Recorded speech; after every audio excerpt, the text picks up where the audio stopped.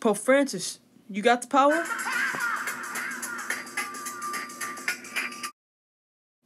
What about you, Father Pedro?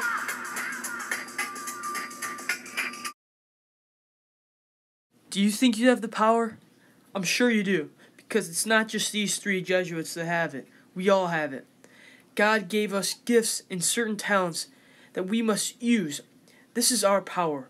We must use these gifts to do justice and to stop oppression.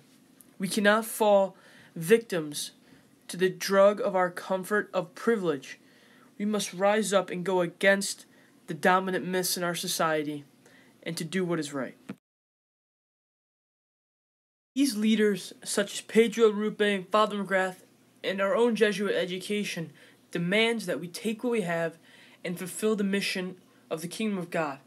And but in doing so, we will fulfill the Jesuit teaching and its mission. The church needs us now, needs us now more than ever. We need humanizers, not dehumanizers. We must face oppression and take it head on.